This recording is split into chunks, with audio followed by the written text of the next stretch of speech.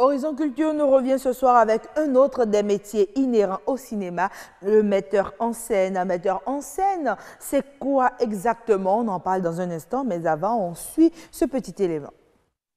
Son rôle Organiser et s'occuper de la mise en scène d'une œuvre artistique. Au cinéma, le metteur en scène est responsable de l'aspect esthétique et dramatique de l'œuvre. Il dirige les acteurs et leurs jeux. Il s'implique également dans la conception du décor, des costumes, de l'éclairage et du son. Pour être metteur en scène d'une œuvre cinématographique, il est indispensable d'avoir une connaissance profonde du texte de base.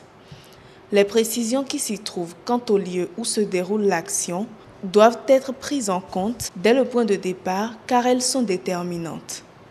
Les lieux, les meubles et les accessoires indiqués dans le test sont autant d'éléments essentiels qui devront entrer dans la conception des décors. Le metteur en scène s'implique donc dans une bonne partie de la production de l'œuvre cinématographique. Pour certains, c'est un métier qui concurrence fortement celui de la réalisation. Le metteur en scène qui concurrence le métier de réalisateur. Nous avons euh, sur ce plateau un expert qui nous dira ce qu'il faut en retenir. On accueille Jennifer Sativi avec le sourire, un sourire grand comme ça. Jennifer, merci d'être avec nous sur ce plateau.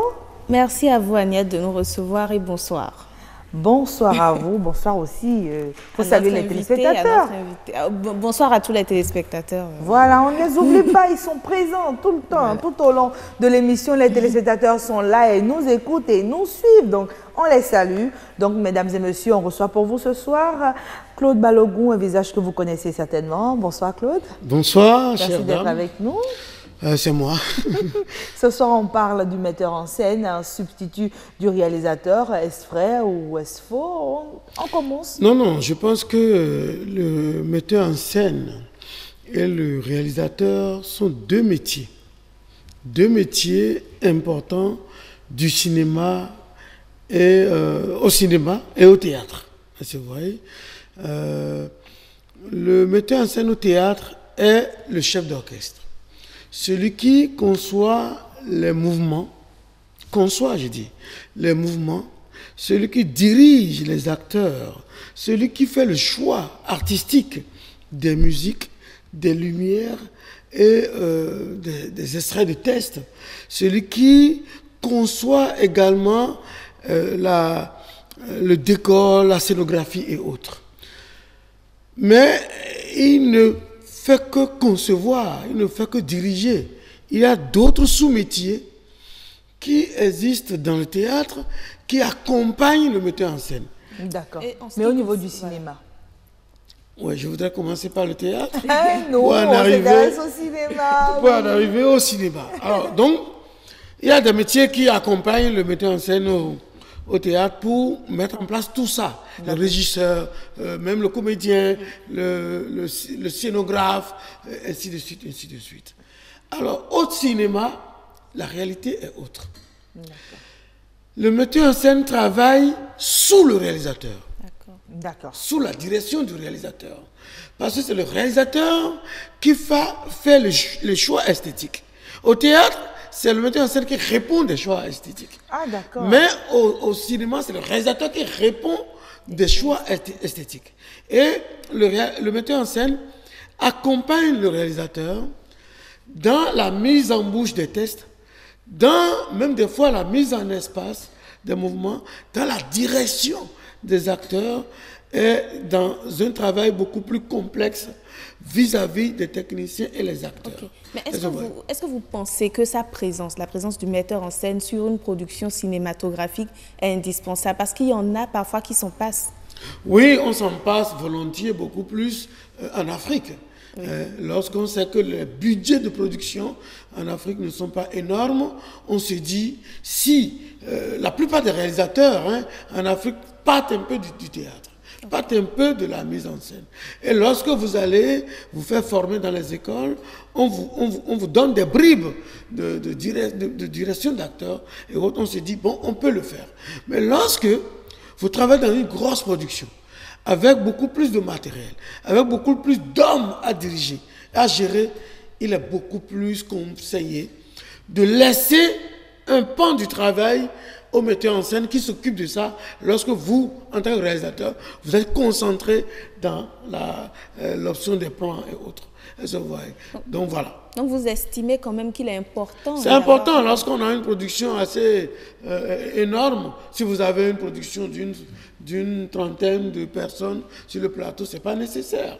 Hein. Mais ceci étant dit, on peut prendre et lorsque vous êtes en train de tourner une séquence, vous laissez le metteur en scène préparer la séquence suivante à, à tourner en discutant, en travaillant avec les acteurs pour qu'ils aient le test avant d'arriver. D'accord, mais est-ce que sur le terrain, Jennifer Sativi, il n'y a pas conflit d'attribution entre le réalisateur et le metteur en scène? Si c'est deux professionnels qui connaissent leur métier, il n'y a pas de conflit d'attribution. Parce que le metteur en scène sur le plateau ne peut pas diriger les, les acteurs, ne peut pas faire des options artistiques s'il n'en discute pas avec le réalisateur. Alors, il y a aussi quelque chose qui est très important. Euh, euh, véritablement, il y a un document de travail sur les plateaux qu'on appelle découpage technique. Lorsque le découpage technique est bien fait par les assistants réalisateurs, validé par le réalisateur, hein, véritablement, c'est ce document que tout le monde utilise. Même le metteur en scène fait référence à ce document avant de travailler avec les différentes personnalités sur le plateau. Alors, il n'y a pas de conflit d'intérêt. Ok, donc on peut dire alors que les, deux métiers se complètent hein? Obligatoirement. Parce que l'objectif sur un plateau, c'est le film. Ce n'est pas de montrer, moi, je fais bien. Hier, j'étais en tournage sur mon plateau, hein, Mutica, excusez-moi. Et je me suis rendu compte très rapidement que sur une prise précédente, l'un des cadreurs n'est pas content de l'image qui est passée. Mais ne me l'a pas dit et va dire à une personne lambda. Est-ce que vous voyez? Or, en tant que réalisateur, je suis bien obligé de savoir si les, toutes les caméras ont les mêmes images. Et si ce n'est pas bien, on reprend. Alors, donc, l'objectif, c'est le film. Ce n'est pas j'ai bien fait, moi tout seul. Donc, le metteur en scène n'a pas intérêt à discuter la place du réalisateur, à contredire le réalisateur, et, contraire, il aide le réalisateur dans son travail pour que le comédien qui va passer dans deux minutes puisse être apte, pour qu'on ne perde pas du temps. Vous savez, au cinéma, Lorsqu'on perd du temps, on perd des bandes. Et lorsqu'on perd des bandes, le montage est compliqué après. Et pour ne pas perdre du temps, le metteur en scène fait son travail, le décorateur fait son travail, l'éclairagiste ou le directeur photo fait son travail, et en synergie et en complémentarité. D'accord. Mais vous, par exemple, qui avez les deux casquettes, à la fois metteur en scène et réalisateur, est-ce que sur une même production, vous pensez euh, si vous êtes réalisateur sur une production, par exemple, avoir un autre metteur en scène ou vice-versa C'est déjà arrivé. Mastakoul a déjà été metteur en scène sur mes plateaux. NSKO a été euh, metteur en scène euh, sur, mes plateaux. J'ai été metteur en scène sur le plateau de Yann chez nous, vice-versa. Donc, c'est, vous savez, le travail d'artiste et de créateur, être bon là-dedans, c'est avoir l'écoute avoir la tolérance, avoir euh, euh, l'œil, avoir beaucoup plus de réflexe, de, voir ce qui va et ce qui ne va pas. Alors, si vous n'avez pas la tolérance, vous ne pouvez pas travailler avec d'autres et sous d'autres. Vous savez, le film que j'ai eu à tourner récemment avec les Espagnols, Un Mundo Prohibido, et sur, ce, sur ce gros plateau, il est arrivé que moi, je n'ai même pas pu m'approcher du plateau de tournage parce que j'étais confiné dans le rôle de producteur délégué. Ok. Et vous voyez, j'ai tellement de travail à faire que je brûlais d'envie de me rapprocher des caméras que je n'ai jamais vu, de me rapprocher du plateau, de me rapprocher des techniciens espagnols qui travaillaient, mais je ne pouvais pas. D'accord. Donc il faut en fait que chacun, chacun reste dans son couloir. Voilà. Parce que lorsque ça ne marche pas dans mon couloir, c'est qu'on crie sur moi en tant que producteur délégué. Et c'est vous qui répondez de Et c'est moi qui réponds dans ce secteur. Je les laisse travailler. Euh, à un moment donné, euh, l'assistant réalisateur béninois, Akkad, euh, et moi, on s'est engueulé, alors que c'est moi qui l'ai recruté. Ah. Alors on s'est engueulé parce qu'à un moment donné, il disait un truc, et j'ai dit non, dans le budget, il n'y avait pas. Et puis on ne s'est pas entendu, finalement, on s'est compris. Donc ça arrive très, très fréquemment parce qu'il a voulu se déplacer légèrement. Moi aussi, j'ai voulu me déplacer légèrement de mon, de mon couloir et ça a pété rapidement. Mais on s'est compris. Et puis le film était ce qui était. Donc le plus important, c'est la complicité sur le plateau. Obligatoirement. on ne peut pas faire le cinéma si on n'est pas complice. D'accord, Jennifer, est-ce qu'on a le temps de parler de la formation du metteur en scène? Bien sûr, mais si, si vous permettez très rapidement, Oui, j'aimerais bien demander à Claude Balogun, est-ce qu'il y a une touche particulière que le metteur en scène apporte dans le domaine du cinéma et qui va se faire ressentir euh, quand il n'est pas là? C'est l'économie, la rapidité, l'esthétique, la réussite des techniciens et des comédiens. Lorsque tu es seul à être réalisateur et metteur en scène, tu n'as pas le temps de tout voir, de tout régler, de tout calibrer avant qu'on dise top action. Ok. Alors, à partir de cet instant, nous sommes obligés de laisser une partie du travail artistique au metteur en scène qui doit assurer ça professionnellement pour que le produit qui vient à nous, lorsque les caméras sont prêtes à tourner, soit un produit déjà bien préparé. et bien D'accord, merci beaucoup. Jennifer Sativi, on a donc compris, hein, maintenant on peut parler du métier de metteur en scène. Comment est-ce qu'on devient metteur en scène?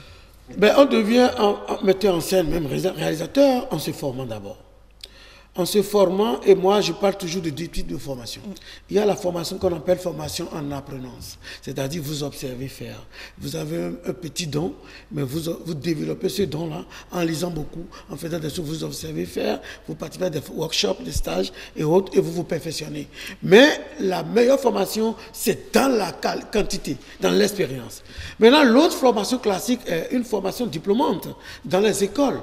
Et nous avons euh, On va éviter de, de citer aujourd'hui. On n'en a pas écoles, beaucoup. On n'en a en pas beaucoup. on en a beaucoup. Ah ouais, aujourd'hui, bon, bref, nous avons des écoles Oui. formelles qui ça. forment les gens.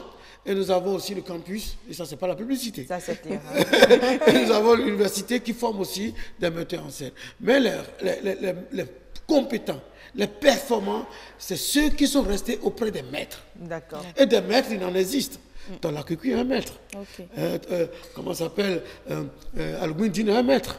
Euh, Kofi Gao, un maître. Ils ont, ils ont fait leur preuve, hein, on les a vus à l'œuvre. Voilà, On donc sait combien de films ils ont rester auprès de ces maîtres, les voir faire, les voir diriger les acteurs, les voir faire des options, des choix, est véritablement ce qu'il faut faire après la formation diplômante. D'accord. Merci Je me demande aussi, hein, Agnès, est-ce qu'on peut en faire un métier? Ah ben oui, on peut faire de, de- de la mise en scène un métier. Tola Koukoui, je pense qu'il ne fait pas autre chose. Euh, je pense qu'Algundi ne fait pas autre chose. Euh, Ousmane Aliji ne fait pas autre chose. Moi aussi, je suis metteur en scène. Et je pense que je ne vends pas de la tomate. Je ne fais que ça. Donc, on peut en faire un métier parce que un artiste, c'est quelqu'un qui crée une œuvre et qui met l'œuvre à la disposition d'un public. Et le public se crée, se nourrit, s'entretient. Est-ce que vous voyez Lorsque vous avez votre public qui a l'habitude de venir à votre spectacle, dans le public programme un spectacle CCF, ça va être plein.